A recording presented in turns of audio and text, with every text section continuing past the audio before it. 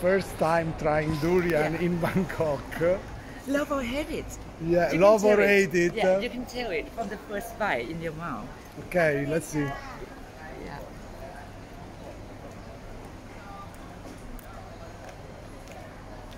È buono. Really? Yeah. It's good. Yeah, okay. So it means that he love it, and then he will love this thing for the rest of his life. It's good. It's good.